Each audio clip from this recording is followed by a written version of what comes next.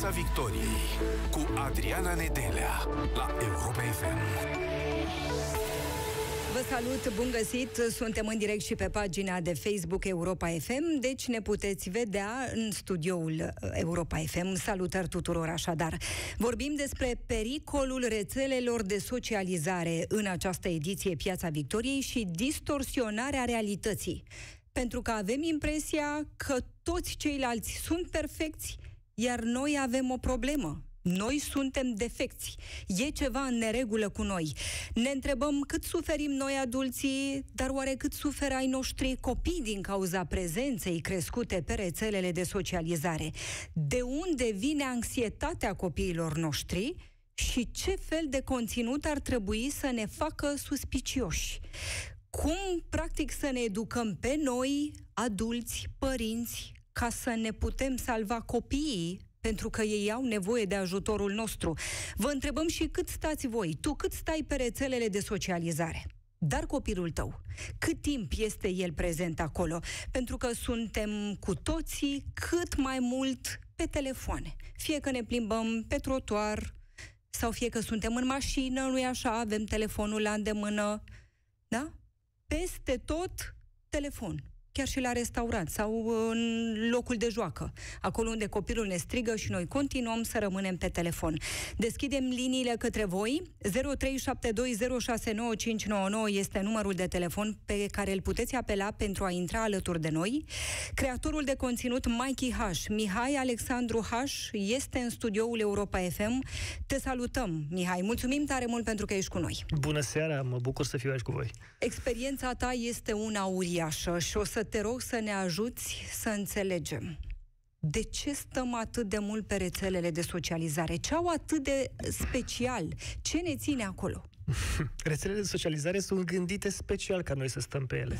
Sunt algoritmi care lucrează în fiecare zi ca să mai descopere noi moduri de a ne face să, dau, să dăm click. Sunt uh, armate de oameni care lucrează la Facebook, la, la WhatsApp, la, la TikTok, care toată ziua asta fac, gândesc moduri noi de a ne ține acolo. Este un asalt pe care uh, specia umană nu l-a uh, avut niciodată asupra sa. Un asalt al, uh, al contentului și al, uh, al, al, al atenției.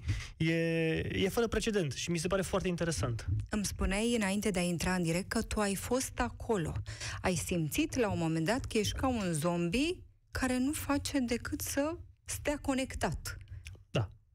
Da. Explică-mi ce simțeai, ce făceai, ce vedeai, ce auzeai. Bine, n-aș dramatiza atât de tare, dar da, există o etapă din perioada oricărei persoane în care, o etapă care, în care descoperă social media. Uh-huh. Părinții noștri abia acum au descoperit social media. Noi poate că am descoperit uh, ceva mai devreme, dar uh, cu toate astea, în momentul în care descoperi, clar e ceva nou și tinzi să stai în continuu pe social media, pentru că logica este că primești o doză mică de dopamină când stai pe social media, găsești un filmuleț amuzant cu o pisică care face ceva, râzi, creezi un pic de dopamină, ori tu ca o maimuțică într-un laborator cauți în permanență acea dopamină și rețeaua socială este mai mult decât uh, uh bucuroasă să-ți ofere acea doză de dopamină. Iar când te întorci la realitate, ea arată trist, nu-i așa? Depinde cine ești, dar da, mare parte din, mare parte din oameni da, ar putea avea această afirmație. Adică de asta rămânem acolo ca să ne fie mai bine, nu?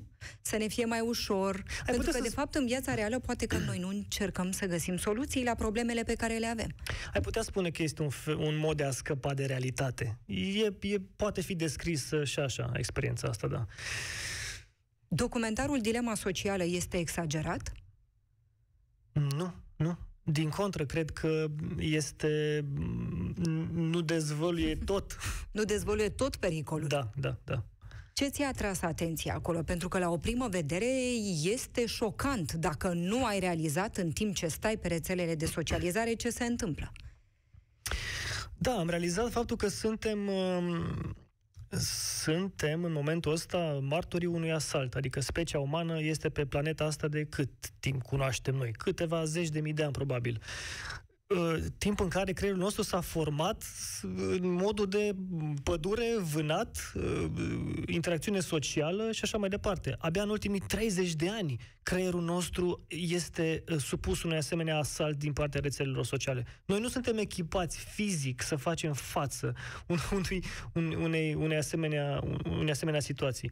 Și da, uh, multă lume efectiv devine uh, absolut captivă acestui mediu și ne transformăm în acei zombi umblători pe care îi vezi tu în metro. Părinții sunt pregătiți oare să-i ajute pe copii? Cred că nu. Adică inclusiv părinții sunt cei care de multe ori cad prada acestor rețele. Și atunci ce să facă ei, copiii? Um, cum văd eu lucrurile? Uh, erau niște cazuri, era la un moment dat, era, era un joc foarte popular, încă mai este, se numea World of Warcraft.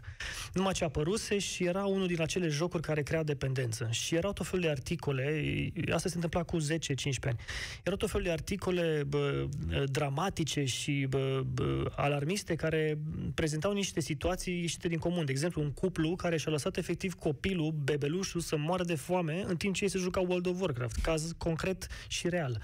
Și asta nu era o rețea socială. Era un joc. Adică oamenii cu, își vor găsi drogul în permanență. Unii își găsesc droguri în uh, otrăvuri, substanțe, băutură, alții își găsesc droguri în alt fel de bă, păcănele sau alții își găsesc droguri în, uh, în dopamina asta mică de pe rețelele sociale, alții în jocuri. Toată lumea își găsește drogul. Ce să facă părintele atunci când vede care poate și el stă pe rețelele de socializare, dar poate că la un moment dat deschide ochii și își dă seama, măi, nu e ok. Să trateze rețeaua socială ca pe un drog. Exact ca și cum îi spune copilului, băi, nu fuma. Că nu e bine să fumezi. Da, văd că e cool, că crezi, tu crezi tu că ești în clasa a șaptea și acolo în spatele blocului fumați voi o țigară și vă simțiți voi ca adulții. Am făcut-o toți, am trecut toți prin asta. Dar nu îți face bine. Adică rețeaua socială este ca un fel de drog. Lăsată de, lăsat de izbeliște, copilul o să cadă pradă mm-hmm. substanței. Hai să le luăm pe rând, te rog. Facebook. Hai. Cum e? Facebook. Rețea socială albastră. Păi, Facebook-ul, în principiu, a devenit mai nou, cel puțin în România, o rețea uh, populată în mare parte de millennials și mai sus, uh, generația baby boomers, poate chiar uh, între millennials. Adică noi și părinții noștri, cum ar fi, 35-40 încolo. Foarte puțini tineri mai o mai ardă pe Facebook astăzi. Uh-huh. Um, da, este un mediu, eu cred că e un mediu mai toxic, Facebook-ul. Este un mediu pe care manipularea se întâmplă foarte mult. Uh, Facebook, prin natura lui, oferă unelte uh, unor oameni care au intenții rele, din păcate. Adică Brexit-ul pe Facebook s-a întâmplat. Uh, alegerea lui Trump s-a întâmplat tot pe Facebook. Uh, 6 ianuarie din Statele Unite, când au, când au, asaltat, au asaltat nebunia Capitoliu, tot pe Facebook s-a întâmplat această manipulare. Adică mi se pare mm, cea mai periculoasă rețea din punctul ăsta de vedere. Uh-huh. Instagram. Instagram. Instagram mm, e mai mult populată de millennials și Gen Z. Aia înseamnă 35 de ani în jos. Uh, este o rețea mai artistică, mai uh, puțin politizată, să zic așa. Există și partea politică, bineînțeles, dar în principiu este o rețea mai, mai artistică, mai pentru oameni care vor să vadă uh, imagini frumoase, vor să posteze pe imagini frumoase, au așa o latură mai artistică, dez, mai dezvoltată. TikTok. Wow, TikTok este ultima wow. găselniță în materie de social media și, sincer, este un studiu de caz. Deci, TikTok are din punctul meu de vedere, cel mai agresiv algoritm. Dacă deschizi TikTok-ul, o să observi că din prima ești prins, ești prins în cârlig. Trebuie, dai scroll în continuu pentru că îți oferă uh, filmulețe mici, uh, snackable, scurte, de câteva secunde, în care se întâmplă lucrurile foarte rapid și foarte, foarte consistent. Și uh, algoritmul lor este, mi se pare, cel mai agresiv. Adică, efectiv, caută să te țină acolo. Este vizibil cât de mult caută algoritmul să te țină acolo, să-ți dea în permanență conținut care să te facă să rămâi pe, pe platformă. Și atunci ne mai întrebăm de ce copiii nu au răbdare sau nu mai au răbdare. Da. Păi acolo li se livrează totul rapid, diferit, îi amuză, iar în momentul în care se întorc în viața reală, viața lor de zi cu zi, își dau seama, așa, și cât mai durează? Păi nu se mai întâmplă nimic, mă plictisesc. Viața nu are același ritm ca TikTok-ul. Are etape. Da. În viață trebuie să ai răbdare. Adică asta e realitatea. Trebuie să ai răbdare nu o secundă, 10. Trebuie să ai, uneori trebuie să ai răbdare un an, alteori 10, Așa e viața. Este, asta nu o să se schimbe, chiar dacă există TikTok-ul. Și în felul ăsta de, se, se creează aceste situații și aceste cazuri în care tinerii devin deprimați. Pentru că sunt obișnuiți să, să, să le fie livrat uh, instantaneu conținutul și când închid, închid telefonul își dau seama că, hei, în viață nu primesc totul instantaneu. Mm. Trebuie să muncesc pentru ceea ce vreau, trebuie să depun efort pentru ceea ce vreau, nu merge chiar așa ca pe TikTok. Dar da, adică o, o lipsă de înțelegere cred că este periculoasă. YouTube. Uh, YouTube, YouTube e mai... Pe YouTube trebuie să intri și să cauți conținutul. Este mai pentru oameni care postează lucruri mai ample. Sunt televiziuni care își postează programele pe YouTube. Uh, sunt videouri mai lungi, deși și-o încearcă și ei cu ceea ce numesc shorts, adică clipuri scurte, un fel de stories, uh, adică și-o încearcă, încearcă și el latura asta. Dar în principiu YouTube este pentru creatori de content care vloggeri, muzică, lucruri de genul acesta. Twitter? Uh, Twitter uh, este foarte scurt și la obiect și eficient. Ai voie să scrii doar anumit, un, un număr limitat de cuvinte, nu poți să postezi filmulețe mai lungi de 60 de secunde și este de obicei uh, un mod foarte rapid de a consuma conținut. Este mai dezvoltat în Statele Unite, de fapt e cel mai dezvoltat. La noi nu prea este foarte puternic Twitter-ul. Pe ce platformă stai cel mai mult? Sau care ți se pare cea mai puțin periculoasă? Mm. Eu personal petrec mult timp pe Instagram și pe YouTube. Aici îmi desfășor mare parte din activitate. Pe Instagram vorbesc cu cei din comunitatea mea, le răspund la mesaje, comunicăm pe diverse subiecte. Uh, am conținutul scurt sub formă de stories, în momentul în care simt ceva, pot să postez urgent și să primesc urgent feedback de la oameni uh, și așa mai departe, iar pe YouTube, uh, când am un clip mai lung de postat, ceva, ceva de spus, cu scenariu, cu filmat în studio, adică ceva mai, mai mare, mai amplu. Uh-huh. TikTok e mai periculos decât Facebook? Acum, n-aș putea să zic care e mai periculos decât care, dar da, algoritmul TikTok este destul de agresiv. Asta e, ce, asta e un lucru pe care ți-l pot spune, da. Tu cum ai ieșit? Spuneai că ai simțit și tu, ai avut o perioadă în care simțeai că ești dependent sau că nu mai faci față sau că nu-ți face bine. Cum ai găsit ușa? Faza este că în viața asta treci prin perioade și cred că social media este este o perioadă. Uite, îți dau un exemplu. Um, eu fac YouTube de 11 ani deja și mă întâlnesc în diferite circunstanțe pe stradă și nu numai cu oameni care îmi spun bă, hașule, mamă, te urmăream atunci când eram mic, aveam 16 ani, mamă, ce mi-a făcut copilăria mai frumoasă. Și zic, acum câți ani ai? Oh, acum am, acum am 25. Păi și, bă, nu mai am timp să mă la job, nu mai am timp să mai stau pe YouTube, pe astea. Când eram mic aveam timp, stăteam, acum parcă, știi, oamenii s-au, s-au responsabilizat. La un, vine un moment în viață în care îți dai seama, bă, gata, cât să mai și stai, frate, pe Facebook? Inter, începe să intervină viața începe să se întâmple viața. Viața spune, băi, trebuie să muncești, să-ți faci o carieră, să-ți faci un rost în viață. Nu poți să mai stai pe toată ziua pe TikTok. Știi? Și atunci cred că uh, trezirea asta uh, uh, intervine în viața a fiecăruia dintre noi, la un moment dat. Nu știu dacă se va întâmpla la fel de ușor pentru cei care s-au născut sau se nasc cu rețelele de socializare. Noi nu le-am avut. Uh-huh. Sunt copii care așa se nasc și așa înțeleg că arată lumea. Așa e normal. Și atunci s-ar putea ca trezirea aceasta să fie mai dificilă. Tu, dacă ai copil, nu ai copil. Nu, nu. Dacă ai fi părinte, ce îi spune copilului tău, nu știu, la șase ani, la șapte ani, la opt ani, când poate ar prinde gustul, mă gândesc că șase ani e mult prea devreme. Hai să zic, 8, 9, 10 ani. Tu ce îi spune despre platforme, despre rețelele de socializare. Hai să zic eu ce e bun și ce e rău. Ce le-ai zice? Bine, în cazul meu, dacă aș avea un copil, la șase ani deja ar fi cu fundul într-un kart, pe pista de karturi, viitor pilot de Formula 1. N-ar avea timp de Facebook și de TikTok, clar. Deci aș okay. pe capul lui să nu aibă activități extracurriculare. Uh, dar dacă copilul tău stă toată ziua pe TikTok și pe rețelele astea sociale, înseamnă că nu are altceva de făcut. Adică, nu știu, uh, Simona Halep, crezi că și-a petrecut tinerețea stând pe rețelele sociale? Nu! Fata aia a făcut tenis de când era mică, a tras, era toată ziua pe teren, își bătucea mâinile și picioarele pe teren ca să facă performanță. Tinerii care fac, care nu vor să facă performanță, stau pe TikTok. Asta este realitatea. La un moment dat o să se trezească și ei și o să dea cu capul și o să vadă, bă, stai puțin, că uite, vreau și eu ce să fac ceva în viață, vreau și eu să am bani, vreau și eu să am o carieră.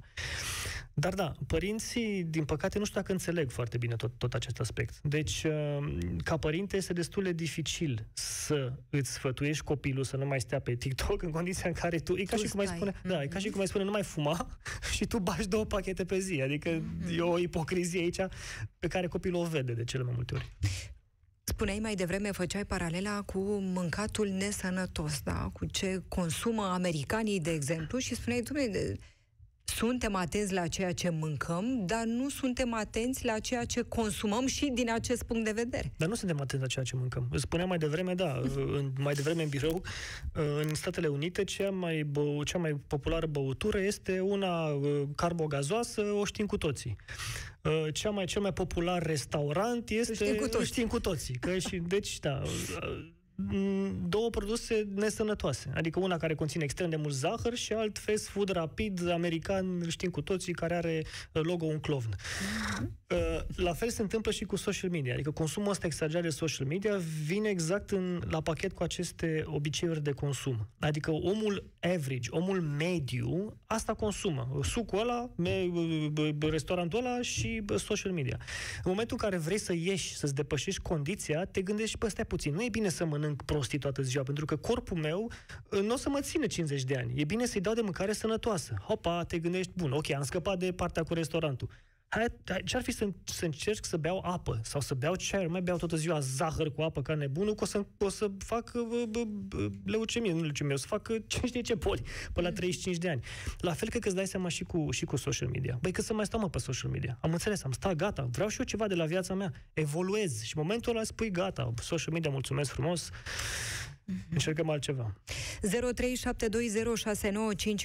și vă așteptăm în direct cu noi. Este numărul de telefon pe care îl puteți apela pentru a intra în direct cu noi. Vorbim despre rețelele de socializare și distorsionarea realității, felul în care ne afectează pe noi, adulți fiind, și poate halul în care ne afectează copiii și ce avem de făcut. Cine crezi că suferă mai mult? Mikey H, Mihai H. Cine suferă mai mult, fetele sau băieții? Statistic vorbind, fetele nu e ceva ce cred eu, este pur și simplu realitatea. Statistic vorbind, aparent, fetițele suferă mai mult de, de chestia asta cu social media decât băieții. Creator de conținut, ce fel de conținut vedem astăzi în online? Cum îți pare? E ceva ce ne ajută? E ceva ce îi poate ajuta și pe copiii noștri, poate? Uh-huh. Există. Există conținut foarte bun. Există, dacă știi să-ți selectezi conținutul, da, eu mi-au conținutul de pe YouTube. Uh-huh. Pe YouTube găsești și eu conținut, dar găsește și cel care vrea să se uite la oameni care mănâncă mâncare de pisică și să râdă. Există și uh-huh. pentru toată lumea. Adică exact, exact ca în viață. Poți să alegi ceva nesănătos sau poți să alegi ceva sănătos. E foarte simplu. Practic, o soluție ar fi să ne ajutăm copilul să-și descopere pasiunea sau să descopere ceea ce îi place să facă, poate un sport, iar dacă vrea să petreacă timp pe YouTube, el poate căuta conținut în acel domeniu. Categoric, în momentul în care, în care copilul tău este educat în, în, în, în direcția asta, clar, mm. obiceiul lui de consum va reflecta asta, în momentul în care ai oferit educația necesară. Ei mi se pare perfect firesc. Vorbeai despre copiii depresivi sau oamenii depresivi. Ce ne aduce în halul acesta, fiind pe rețelele de socializare? Faptul că îi vedem pe ceilalți poate perfecți? Sau că au mai mult decât noi, sau că sunt mai frumoși decât noi. Toate astea, Iar da. noi avem o problemă, domne, e ceva ce nu funcționează la noi, nu merge, suntem defecți. Da, exact ce spui. Fix asta e. Adică vezi toate acele poze perfecte, care, by the way, nu sunt perfecte. Sunt puternic modificate. Erau, a fost un caz recent cu o știre super stupidă cu una din surorile Kardashian, aceste regine ale superficialului, în opinia mea, care a făcut mare scandal că a apărut pe net o poză cu ea care nu era photoshopată și poza era de la, de la, de la piscină, iar o poză făcută de un prieten și ea arăta cum arăta ea de obicei, cu colăcei pe aici, cu mhm. celulită, cu așa arată ea. Și a fost mare scandal și toată echipa de PR a ei s-a chinuit să dea poza aia jos de pe net pentru că ea nu așa vrea să pară. Asta practic e minciună. Adică tu practic minți oamenii. Hei, uite, arăt așa. Nu, n-arăți așa. Mm-hmm. Ce conținut crezi că ar trebui să ne trezească bănuieli, suspiciunea?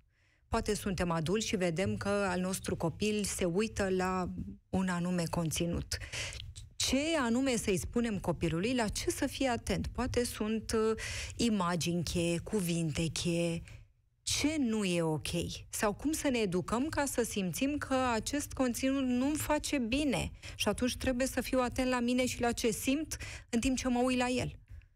Nu cred că aș putea să identific niște cuvinte cheie sau uh, niște anumite tipare ale conținutului prost în general. Există conținut foarte superficial, la fel cum există și conținut filozofic pe YouTube. Acum, din nou, cred că depinde de nivelul copilului tău. Uh, când te uiți la ce se uită copilul tău, îi vezi nivelul, practic. Îi vezi educația pe care i-ai dat-o, este o oglindă a ta. Copilul este o oglindă a ta, categoric. Nu poți să spui când copilul deja face, nu știu, 8 ani și începe să, sau nu, are 6-5 ani, începe să-ți urle prin magazin uh, că el vrea nu știu, nu știu ce acadea și tu arunci cu mâinile și spui, nu știu ce să mai fac. E vina ta. Copilul ăla nu s-a născut răsfățat. Tu l-ai răsfățat.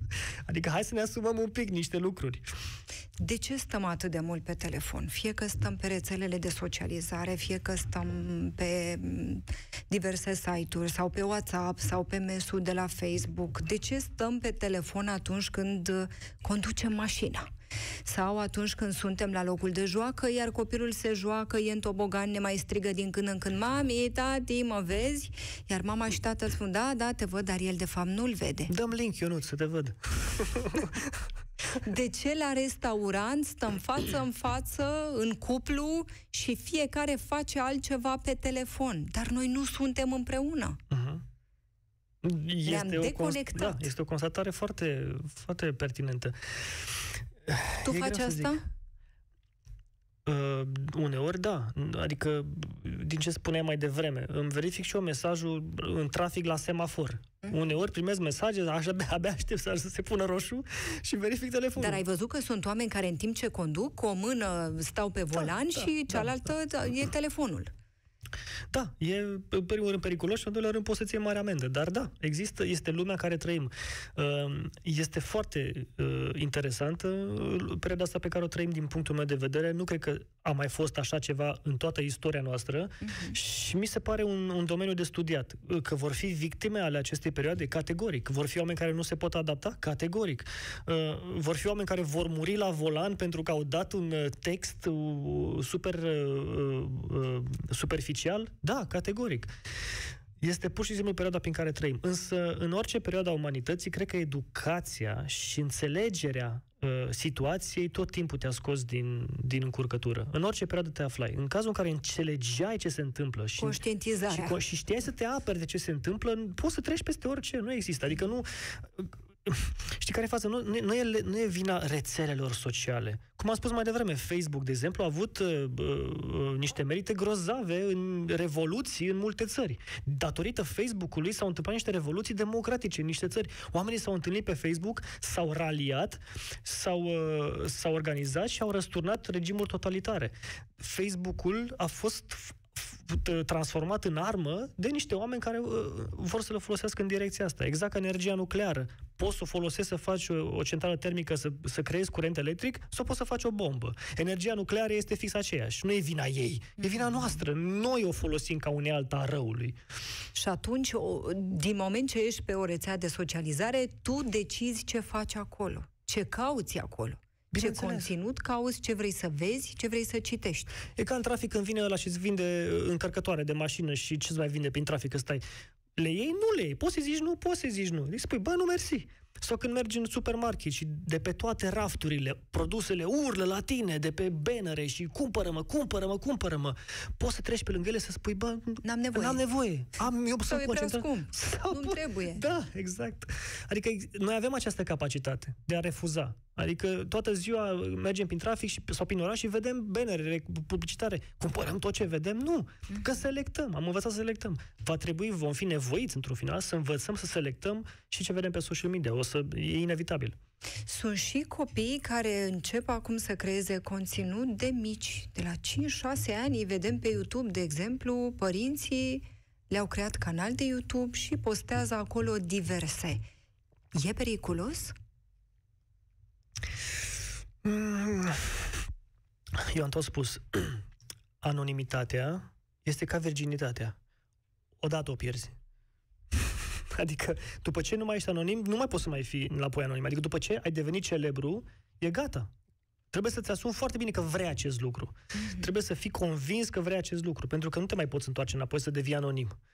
Îți spun sincer, eu uneori, mie mi-ar plăcea să fiu anonim, să nu mă cunoască nimeni. Să merg pe stradă fără să am telefoane îndreptate dubios pe mine sau să-și dea oamenii coate sau să privesc uh, uh, priviri ciudate. Mi-aș fi dorit uneori să am chestia asta. Adică în momentul în care ești copilul, uh, părintele unui copil, gândește foarte bine. Vrei să ți-l faci cunoscut? Pentru că nu mai poți, mai, nu mai poți da înapoi de acolo. E, e forever, e pentru totdeauna. L-ai, l-ai făcut vedetă, vedetă rămâne. 0372069599 Vă așteptăm în direct alături de noi. Vrem să știm cât timp petreceți pe rețelele de socializare sau dacă ai voștri copii stau mult pe rețelele de socializare, cât stau acolo, ce fac și cum îi simțiți. Sunt periculoase rețelele de socializare? Pentru că mai devreme vorbeam cu Mikey H și despre beneficiile sau importanța rețelelor de socializare când vine vorba despre informație și răspândirea informației, pentru că, până la urmă, rețelele de socializare ce fac? Aduc oameni împreună și răspândesc adevărul, sau cel puțin așa vrem să credem. Tinerii până în 20 de ani, spuneam noi mai devreme, că îi simți mai implicați parcă decât eram noi sau decât erai tu sau generația ta în diverse cauze sociale. A noastră, cred că suntem de o vârstă. Mm. Nu? A noastră, da. Da. Cam 35. Spre 40. Ai, de vârstă să devii, ok. Deci, Top acolo. Noi nu, da, observ treaba asta în, în generația asta tânără, în Gen Z în general. Gen Z la modul cei născuți uh, după, nu știu, perioada 95-2005. Um, observ o, o, o tendință la nivel global. Tendința este de a-și căuta cauze copiii ăștia, tineri ăștia, luptă pentru cauze și își găsesc ei, nu știu de ce, nu știu care e trendul, dar ei vor să-și găsească cauze. Tocmai de asta Greta Thunberg are așa succes. Mm-hmm. Și își găsesc cauze din cele mai diverse. Unii dintre ei vor să lupte pentru bă, urși polari, alții vor să lupte pentru drepturile, nu știu, bă, minorităților de nu știu unde, dintr-o țară care nici nu au fost în viața lor. Dar există tendința asta de a lupta pentru cauze, de a ne găsi cauze. Este ceva tipic acestei generații. Da, există chestia asta. 0372069599 Vă așteptăm în direct acum. Ni se alătură Silviu. Te salutăm, Silviu. Uh, bună seara! Te salutăm și te ascultăm. Da, numele meu este Silviu, am 33 uh, de ani. În legătură cu timpul petrecut pe internet, am fost dependent de Facebook acum vreo 6 ani în urmă și nimic, vreau să îi spun domnului sau colegului Mikey H. Da. în legătură cu noi suntem uh, proprii noștri alegători. Foarte frumos ai spus, uh, Silviu. Foarte frumos ai spus.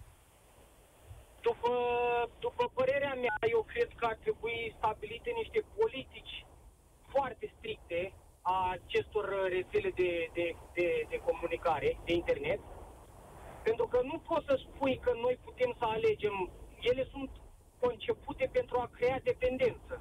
Exact, exact ca un drog, nu? Exact. Povestește-ne, Silviu. Exact ca un alcool. De ce spui că erai Dacă dependent? Statele, de ce spui că erai dependent? Depend- ce de făceai? Facebook. Nu puteai să te desprinzi de Facebook? Stăteai ore în șir acolo?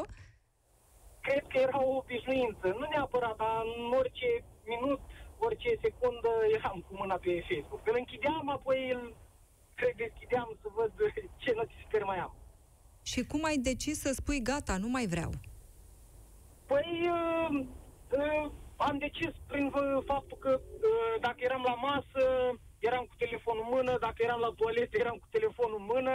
Wow. Și am zis, băi, stop, ce cu mine? Adică, până unde, până când? Am chestii mult mai importante la care să reflect decât... Uh, dar de când ani am, am conștientizat asta. În schimb, tinerilor, nu le, ei nu pot încă conștientiza de la o vârstă fragedă și atunci eu cred că ar trebui niște, niște politici foarte bine stabilite de către acești uh, creatori de conținut, internet, Facebook și care ori mai fi ele, pentru că anumite persoane nu, nu, nu, nu, nu pot înțelege exact ca o dependență de droguri, de alcool, de țigări, adică statele sau cine Bun. Uh, face acest content ar trebui uh, puse niște limite, părerea mea. Nu Silviu, crezi că stă, țările, statele ar trebui să se implice în situația asta, exact cum, nu știu, de exemplu, reglementează consumul de țigări sau consumul de alte substanțe de genul ăsta? Crezi că ar trebui să se implice și în reglementarea, într-o oarecare măsură,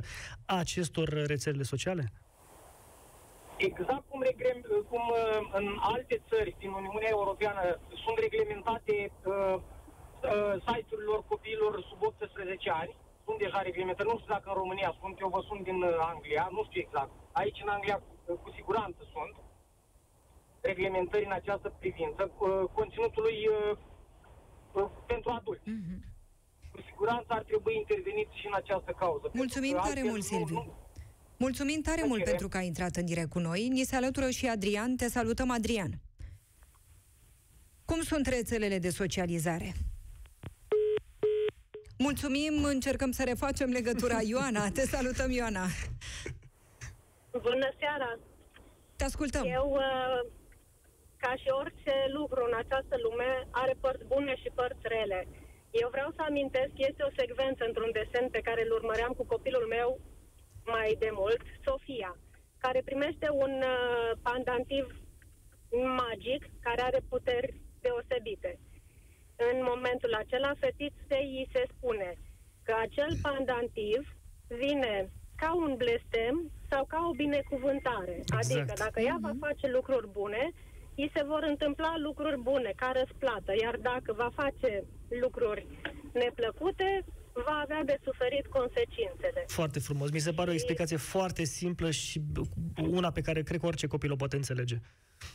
Exact. Și există mai există câteva desene din care copiii mai pot învăța, iar referitor la mediul online, aș vrea doar să spun că aceste, să zic, uh, resurse, YouTube, Facebook, pot să fie, ar putea să fie folosite ca niște unelte cu cap, adică inteligent. Categoric. La fel, dacă le folosești în mod inconștient, te trezești cu niște pedepse, să zic așa. Mulțumim tare mult pentru acest exemplu. Foarte, foarte bun și exact. foarte simplu. Eu, de exemplu, mare parte din lucrurile pe care le știu astăzi le am aflat de pe YouTube. Eu nu știam, fiind creator de conținut, nu știam să montez un clip să, sau, mm-hmm. să, sau, sau să lucrez în Photoshop. Am aflat de pe YouTube. Adică poți să te educi pe aceste rețele. Nu sunt neapărat rele, doar că e în funcție de tine până la urmă. Tu Cum le folosești. Exact. Manuel ni se alătură. Te salută, Manuel. Uh, bună seara, mă auziți? Te auzim, sigur. Ok, super. Uh, eu uh, aș vrea să spun uh, în legătură cu acest subiect și în legătură cu copiii. Noi am încercat să ne educăm copiii și le-am spus o chestie, am un principiu care cred că e, că e valabil, am spus că trebuie să fie foarte atenți, pentru că dacă un produs pe internet este gratis, înseamnă că tu ești produsul care urmează să fie vândut. Exact, foarte da, frumos. Da. Ai văzut și documentarul. Atunci, asta, uh, asta, ai văzut dilema socială, Ai văzut nu? dilema socială. Uh, da. Dacă ceva e gratis, exact. tu... Tu ești produsul, de fapt, exact. da, exact. Exact. Uh, na, noi avem doi copii, unul de 14 ani și unul de 10, iar pe cel de 14 ani l-am învățat, uh, i-am spus tot timpul că atunci când vine și prezintă o informație, să o verifice din, trei, din cel puțin trei surse diferite. Astfel încât să fie sigur că nu este fake news, uh, în ceea ce privește uh, utilizarea, consumul lor de, uh, de rețele de socializare, evident că ei vor folosi atât cât îi lăsăm, iar aici, din păcate, trebuie să fim uh, the bad guys și să le punem limite în genul o oră, două maxim. Înțeleg copiii, Manuel, te înțeleg, ți se pare dificil, pentru că mulți poate nu intervin în a face educație în felul acesta, pentru că e greu, domne. E greu. Uh, Îți ia timp. Așa este. De, nu vreau să mă laud, dar copiii noștri au fost crescuți de noi în felul ăsta de mici. Adică atunci când li s-a uh, pus o limită, li s-a explicat care este motivul Cu din explicații, practic. I-ați crescut explicându atunci, Deci se poate. Da. Deci se poate. Adică... Se poate. Este, este mai de greu, necesită amândoi părinții să fie pe aceeași lungime de undă, dar se poate. Este greu, dar asta e datoria noastră ca părinți. Da. Mulțumim da. mult, Manuel. Mulțumim foarte mult pentru că ne-ai împărtășit experiența ta. Georgian se alătură acum. Te salutăm, Georgian. Bună seara, să rămâinile. Uh, nu cred că sunt dependent de internet. În schimb, este de Facebook, de rețele sociale. Îmi iau informații. Fiecare alege pe cine poate să urmărească. Poți să-l alegi să-l urmărești pe Teodor Baconski, pe Daniel Funeriu, sau poți să alegi să urmărești pe altcineva. Generația tânără și-au reperele lor. Este adevărat. În schimb, îmi este foarte mare teamă de puterea pe care o au rețelele sociale mă gândesc că Donald Trump a fost uh, interzis pe rețelele soci- uh, sociale și aia la tălacul Camenei era acolo și scria, îndemna către ură exact. și către altele. mă gândesc la ce s-a întâmplat cu Brexit-ul, mă gândesc la armatele de troli, rușii sunt aici, sunt peste tot, nu mai au nevoie să trimiți să treacă granița cu armata, ei sunt peste tot. Adică au și o parte întunecată uh-huh. destul de Mulțumim foarte, foarte mult. Foarte puternic. Mulțumim foarte tare mult, Sergiu. Mulțumim. Concluzii. Cu ce rămânem? Ce trebuie să știe, ce recomandări ai avea tu, de exemplu, pentru un adolescent care ne ascultă acum și ce recomandări ai avea pentru un adult care poate trece sau se confruntă cu această problemă. Nu se poate abține, nu poate lăsa telefonul și este acolo captiv pe rețelele de socializare. Ce le spui? Cred că aș recomanda ce, ce recomand oricărei persoane, indiferent de vârstă. Lucrează la a te îmbunătăți pe tine. Lucrează la dezvoltarea ta personală. Dă-ți seama că poți să atingi lucruri grozave în viața asta. Poți să-ți îndeplinești visurile, dar trebuie să muncești pentru ele. Nu e, nu e deloc ușor. Citește toți speakerii motivaționali din lume, toți îți vor spune același lucru. Investește timp, dă-ți interesul, creează valoare și vei avea succes. Este imposibil să nu reușești în lumea asta în care trăim. Este imposibil, nici o scuză nu ai. Toată informația este la îndemână. Vrei să înveți să vrei să înveți judo, poți să o faci de pe net. Vrei să înveți să montezi clipuri pe YouTube, poți să o faci de pe net. Vrei să înveți să ai o dicție mai bună? Poți să o faci de pe net. Vrei să înveți economie, istorie, geografie? Poți să o faci de pe net. Nu mai ai niciun fel de scuză. Toată informația este la îndemână. Caută și folosește-o într-un mod constructiv. Schimbă-ți viața. Folosește-o ca o unealtă, nu ca pe o armă. Și pentru cei care vor să creeze, să devină creator de conținut, ce le spune? Ce înseamnă calitate când vine vorba de conținut? Chiar uh, despre asta urmează să lansez un curs online despre uh, influenceri, cum să fii influencer, care este conduita unui influencer și ce a ajuns să însemne termenul ăsta și cât de periculos este în momentul în care devii influencer, pentru că să devii influencer este doar jumate din drum. Mare parte din uh, bătaia de cap este să te menții relevant și să te menții sus. Um, atenție mare, din nou. Uh, anonimitatea este ceva foarte de, pre- foarte de preț. E sigur că vrei să o pierzi? Păstrăm legătura, nu pe Facebook, te sun, dacă vreau să te întreb ceva. Sau așa. Mai vin, nu așa? Mai vin, cu drag. Mulțumim tare mult, le mulțumim foarte mult celor care ne-au lăsat comentarii și care au și intrat în direct cu noi. Ne revedem săptămâna viitoare. Creatorul de conținut Mikey H. Mihai Alexandru H. a fost alături de noi și va mai veni. Rămâneți pe Europa FM. Numai bine! Piața Victoriei cu Adriana Nedelea la Europa FM.